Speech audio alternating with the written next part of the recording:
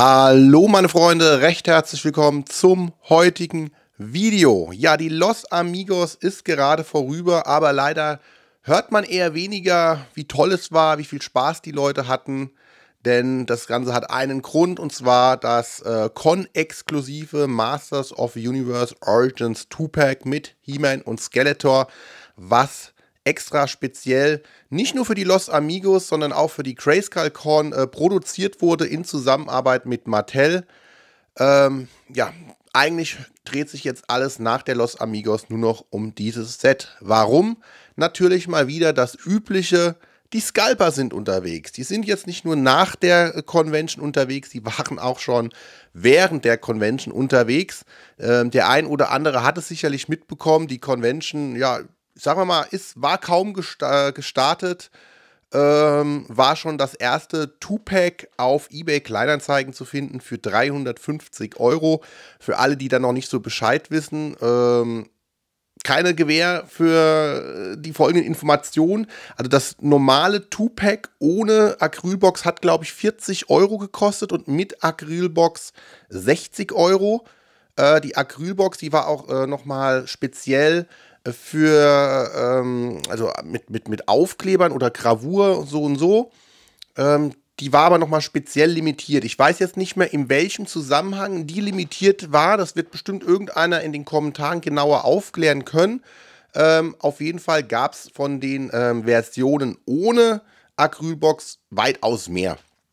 Ähm, das spielt aber letztendlich jetzt keine Rolle mehr, denn ähm, ich sag mal zu 90, 95 Prozent die Two-Packs, die aktuell bei eBay Kleinanzeigen und auf eBay zu finden sind, die sind alle ohne Acrylbox. Preislich äh, schenken die sich aber allerdings nicht. Die meisten wollen so 300 Euro aufwärts haben.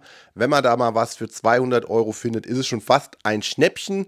Aber man muss halt auch sagen, äh, es sind auch Auktionen am Laufen, wo der Preis auch schon über 200 Euro ist.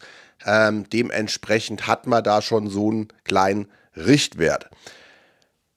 Die Wut, der Ärger, der Hass ist natürlich groß bei den Leuten, die kein Tupac bekommen haben, denn es soll wohl so gewesen sein, dass diverse Käufer da wohl mit mehreren rausspaziert sind.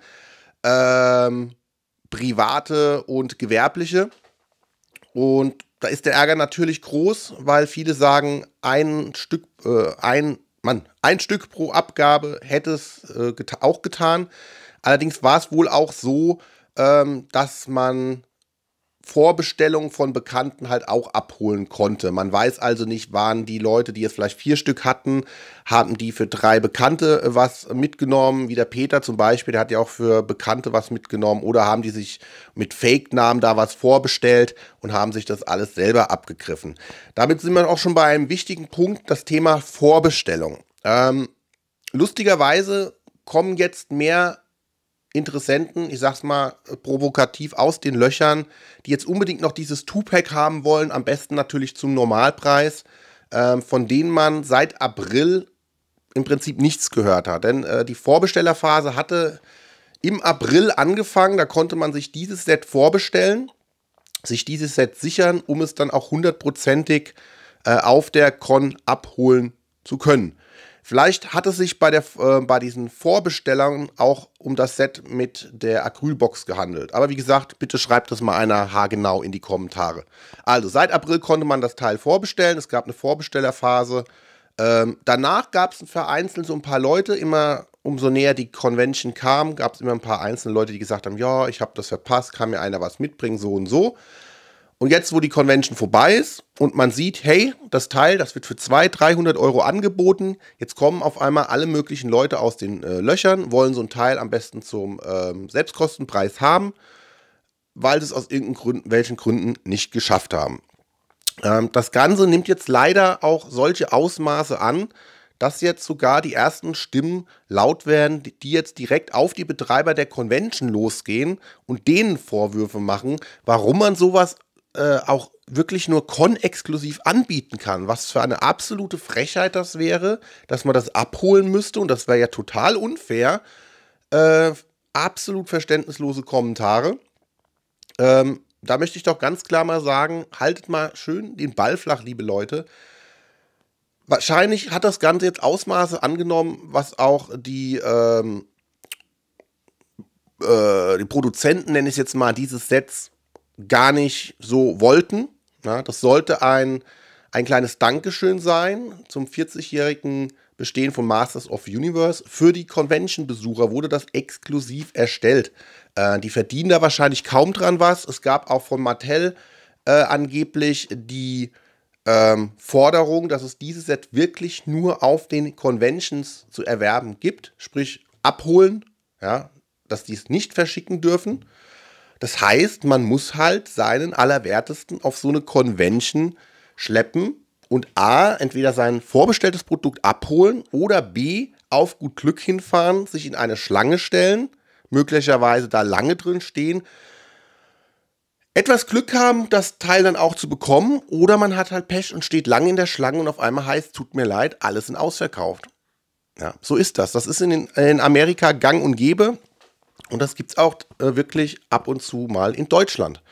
Dass das Ganze jetzt natürlich solche Ausmaße annimmt, was die ähm, ja, geforderten, kann man ja kaum noch sagen. Also es werden zwar, wie gesagt, 300 Euro teilweise aufwärts gefordert, ja, aber ich sag mal, die Community ist nicht ganz schuldlos. Äh, denn wenn ich ähm, Auktionen sehe, Sofortkaufangebote, die dann scheinbar, man weiß es ja nie wirklich, scheinbar verkauft werden für 200 Euro oder wenn da schon Gebote drauf sind über 200 Euro, ja? oder wenn schon in Gruppen äh, Tauschangebote gemacht werden im Wert von 200 Euro, dann darf sich wirklich niemand beschweren, dass äh, diese Leute da sich ähm, ja, zudecken mit solchen Sets und auf gut Glück halt einfach mal raushauen. Ja, um Gottes Willen, ich verteufel diese Scalper und denen sollen alle Hände abfallen, denn für mich sind das keine Masters of Universe Fans, für mich sind das auch keine Sammler. Ähm, das Ganze hat Eintritt gekostet auf der Convention. Es wurde also Eintritt bezahlt, um dorthin zu gehen, um sich ein Set, wahrscheinlich aber eher mehrere Sets abzugreifen. Vielleicht wird hier und da noch sogar ein netter Blausch gehalten mit äh, Gleichgesinnten. Kaum ist mal die Tür draußen, stellt man das Teil dann auf Ebay. Also für mich ist das unterste Schublade es wird wahrscheinlich keiner was sagen, wenn diese Leute das, sich diese Teile kaufen, mit nach Hause nehmen und irgendwann in zwei, drei Jahren tauchen die dann auf auf Ebay. Vielleicht dann auch für diese 300 Euro, aber dann sind halt zwei, drei Jahre vergangen äh, und gehen nicht raus und machen gefühlt auf dem Parkplatz noch das Foto und stellen es auf Ebay ein. Also das ist für mich wirklich ganz, ganz, ganz, ganz weit unten anzusehen. Äh, nicht nur in der Community, es betrifft nicht nur die Masters of, Uni äh, Masters of Universe Community. Äh, die Filmsammler-Community kennt das ja auch beim Thema Mediabooks, gerade wenn es um limitierte Sachen gehen, dass da Teile äh, direkt aufgekauft werden und ja zum offiziellen Release direkt dann zum doppelten Preis mal Minimum angeboten werden. Das ist, das ist in vielen Bereichen. Ähm, es bringt eigentlich nichts, sich immer wieder darüber aufzuregen. Man macht es aber verständlicherweise dann tro doch trotzdem, weil manch einer oder viele halt noch diese Naivität haben, ich auch, ähm, die einem sagen, ja, es, wir sind doch alles erwachsene Menschen. Wir, wir sind doch alles, sagen wir mal, Fans von Masters of the Universe, Fans von dem, was wir sammeln. Und wir können es meistens auch nicht verstehen, warum es da tatsächlich noch Leute gibt, die dann hingehen, sich dies, das Zeug einpacken und dann rausgehen und verhökern. Und das Krasse ist ja halt, es hat ja nicht mit 100 Euro angefangen oder mit 150, sondern direkt mit 350 und hat sich jetzt so wirklich bei 300 Euro äh, Wunschpreis eingependelt. Das ist ja nochmal ja, je nachdem, bei der Acrylbox fünf- bis sechsfache vom Preis, beim normalen Set schon ähm, acht- bis neunfache vom Preis und das ist halt wirklich heftig und traurig. Das gleiche Thema mit den Scalpern hatten wir doch auch beim Thema Retrofabrik und ihren neuen äh, EHPA-Sammelbändern beziehungsweise die Neuauflagen und den limitierten Covern. Dort ist doch genau das gleiche passiert. Es gab eine Variante, die für jedermann unlimitiert äh, verfügbar war. Und dann gab es ja immer drei limitierte Bände. Und auch da war es doch so, dass die limitierten Bände ruckzuck ausverkauft waren und kurze Zeit später auch dann bei eBay und Co. zu Minimum dem doppelten Preis eingestellt wurden.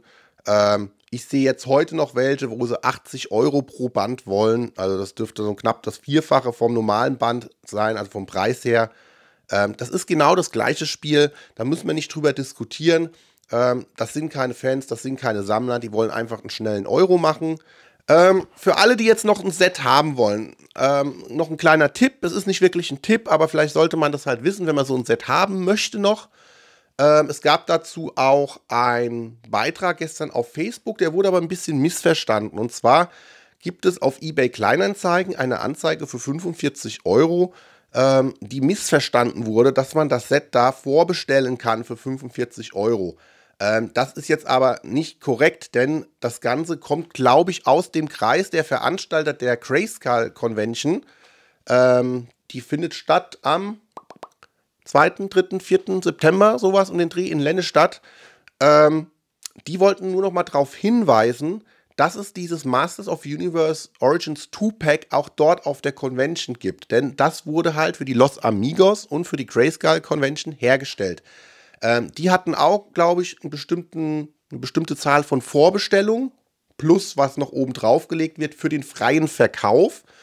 Ähm, jeder, der so ein Set unbedingt haben möchte, der muss wohl oder übel an Tag 1 auf der Grayscale Convention sein, sich in die Schlange stellen und dann auf gut Glück noch drankommen, um sich so ein Set zum Original Selbstkostenpreis dann besorgen zu können.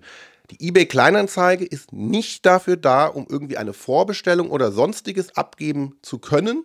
Ja, oder geschweige denn zu bestellen und heimschicken zu lassen. Die Vorbestellerphase ist, wie gesagt, schon lange vorbei. Es ist einfach nur ein Hinweis für die Leute, die das suchen, dass sie jetzt nicht 200, 300 Euro oder vielleicht sind sie auch bald noch mehr ähm, dass die das Geld nicht zahlen, sondern vielleicht mit etwas Glück wohnt ja jemand in der Nähe von Lennestadt oder erkennt jemanden, der zufälligerweise auf der Grayscale Convention ist und sich da in die Reihe stellt. Das war, ist einfach nur ein Hinweis, ähm, dass man dort dieses Set dann noch bekommen kann im September. Ich persönlich habe, wie gesagt, mich nicht um so ein Set bemüht. Ich hatte mal eine Zeit lang drüber nachgedacht, hätte es auch beinahe mal vorbestellt, aber dann war ich nicht hundertprozentig überzeugt, war ebenfalls nicht hundertprozentig sicher, dass ich äh, auf die Los Amigos gehe und hatte dementsprechend die Vorbestellerphase dann auch versäumt, beziehungsweise einen Haken dran gemacht. Hätte ich das Set jetzt auf der Convention eventuell noch mal kaufen können, hätte ich wahrscheinlich noch mal drüber nachgedacht und, die, äh, nachgedacht und die Chancen wären wahrscheinlich auch nicht schlecht gewesen, dass ich mir dieses Set gekauft hätte, weil es ein, halt eine schöne Hommage an das alte Vintage Two-Pack ist. Aber vor allen Dingen, es wäre halt eine Erinnerung, eine exklusive, limitierte Erinnerung gewesen an diese Convention. Ähm, letztendlich muss man es realistisch sehen. Es, ähm, es steckt zwar viel Zeit drin, viele Mühen, viele Mühen hinter den Kulissen, wahrscheinlich auch mit Mattel und allem drum und dran. Aber letztendlich sind es halt nur zwei äh, Masters of the Universe Origins Figuren. He-Man und Skeletor, die man beide, sagen wir mal, für unter 20 Euro mittlerweile bekommt. Also es ist wirklich eine schöne Edition. Man, ich will es jetzt nicht schlecht reden, aber, aber Leute, es ist beim besten Willen nie im Leben 300 Euro wert. Ähm, Wer wirklich überlegt, diese 200, 300 Euro zu zahlen, der darf das gerne machen. Jeder kann mit seinem Geld machen, was er will. Aber dann darf man sich halt auch nicht beschweren, dass man solchen Scalpern eine Plattform bietet. Denn diese Leute, man muss es sagen, wie es ist, die haben das von ihrem eigenen Geld gekauft. Ja, die sind jetzt äh, Eigentümer dieses Produktes, was wie viele auch immer sie bekommen haben. Sie können damit machen, was sie wollen. Ob das jetzt moralisch in Ordnung ist oder unterste Schublade, das, da sind viele Leute verschiedene Meinungen. Ich sag mal, in der Community gibt es auch Leute, die sagen, was regt ihr euch auf? Die Leute können machen, was ihr wollt. Die meisten ärgern sich natürlich. Ähm, aber so ist das halt heutzutage. Man schaut halt oft drauf, ähm, dass man ein paar Euro gut machen kann. Unser eins macht das wahrscheinlich auch schon mal in irgendeiner Art und Weise, wenn er was verkauft. Ja. Gerade alte Sachen werden wahrscheinlich nicht zum Selbstkostenpreis oder zum Anschaffungspreis verkauft.